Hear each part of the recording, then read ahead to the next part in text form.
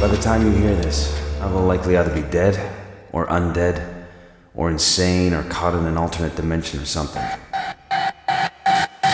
Just recently I played a bit of Dead Island 2 in the booth next to this, but now I've played Escape Dead Island, which is something completely different. Yeah. Still Dead Island, but very, very different. Uh, can you first tell us a little bit about what, went going into this project, how did it come about and sort of what was the motivation behind it?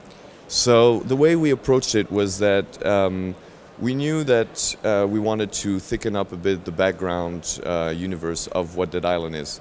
And um, we know some people did latch on to some of the elements that were present in Dead Island and Riptide, but uh, those games weren't really, you know, tailored for a strong uh, narrative story. And we thought the best way to convey this is probably to do like a spin-off where we're going to tailor the whole experience around trying to have this uh, narrative element, and also we wanted to approach um, to have a more atmospheric approach to um, you know how uh, things go for a regular uh, human uh, within the, the the situation of the Dead Island outbreak, as opposed to you know the immune superhero-like characters from the main Dead Island series.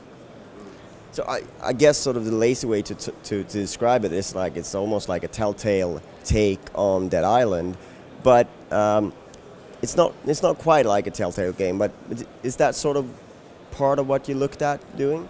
Um, so, I guess the the point that creates the biggest similarity is uh, the fact that we went for that comic art style, um, but we're we're really far from the more pointed click adventure approach that Telltale has. I think um, what what we went for was trying to uh, keep some of the key elements of what Dead Island is about. You know, the action, um, and then mix it in with um, some stealth element that you know are useful for someone who's weaker than the people you're used to, and uh, the way we tell our story is kind of going into experimental directions. Like the, the the character and through him the player will be going through some really weird events. Uh, will constantly be questioning what he's seeing. Is it real? Is it not?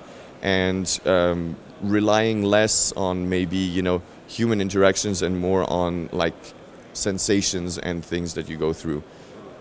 Because I, I, guess that's one of the feelings that I had after playing it. I was a little bit confused at what I just played, because it seems like you're sort of you're sort of you you're sort of playing around with what's real and what's not, and, and the player isn't really let in on what to think. Quite perhaps perhaps you learn later, but not in the beginning.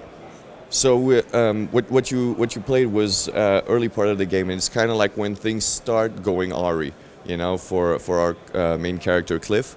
But uh, as as the game progresses and as the story progresses, there's a sense of crescendo that that you know takes place, and through it all and through all the little events that happen and all the details that you know some players will pick up here and others will pick up there.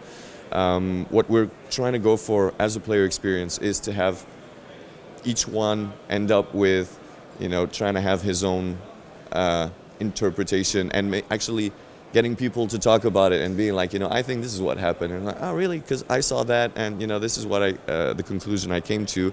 Um, yeah, that's that's kind of like an um, uh, target, an objective for us, and if we can get people to like be intrigued and be just like, you know, oh, what the hell is going on? And all of a sudden surprised, then, you know, I think we, we've been going in the right direction then.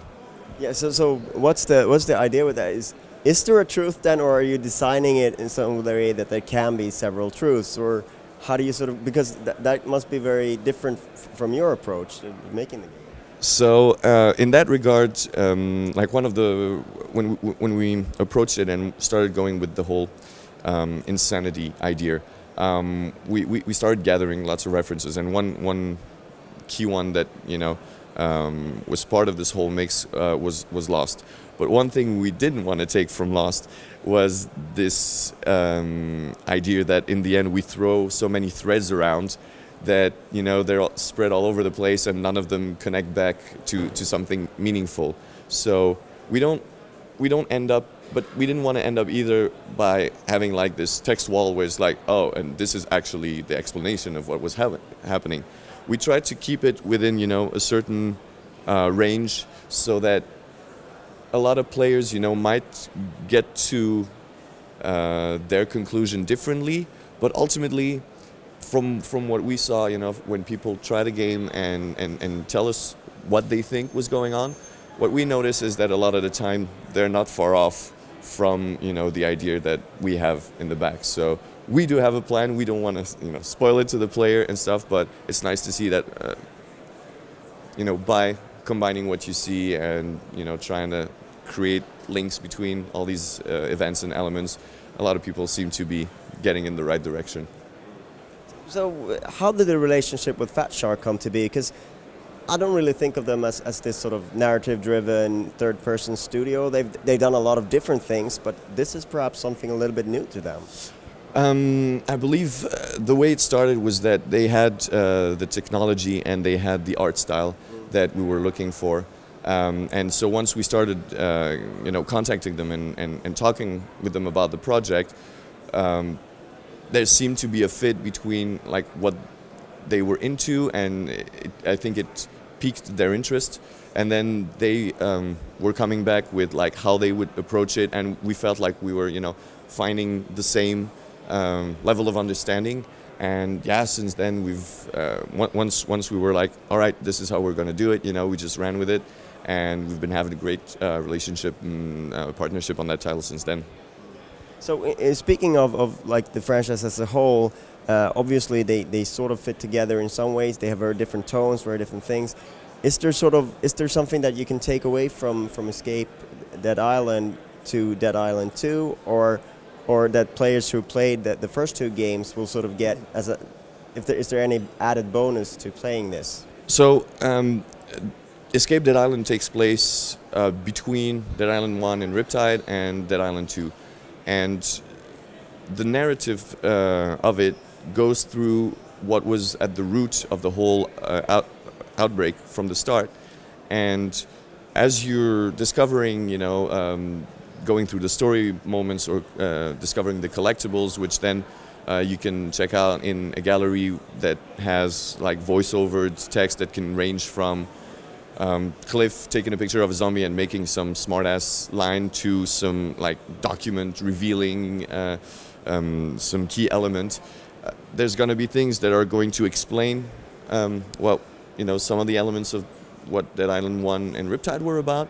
And then there's going to be some things that might not necessarily make too much sense yet for players the first time they encounter it. But if they get to go through uh, Dead Island 2, then it's going to click. It's going to be like, hey, I remember seeing that you know, so it, it plays this kind of in between puzzle piece uh, on the narrative point of view. And um, like I said, we wanted to, you know, thicken the whole Dead Island background and, you know, show that it is um, a, a, consistent world and universe where, you know, there are things happening, there are rules, there are narrative threads, and we, we are, uh, you know, on top of it, you know, not just throwing zombies around and there's no firm release date yet. It's uh, quarter four. Yeah, so far it's um, quarter four, so um, I guess it's going to be in the coming months, um, but no no specific date yet.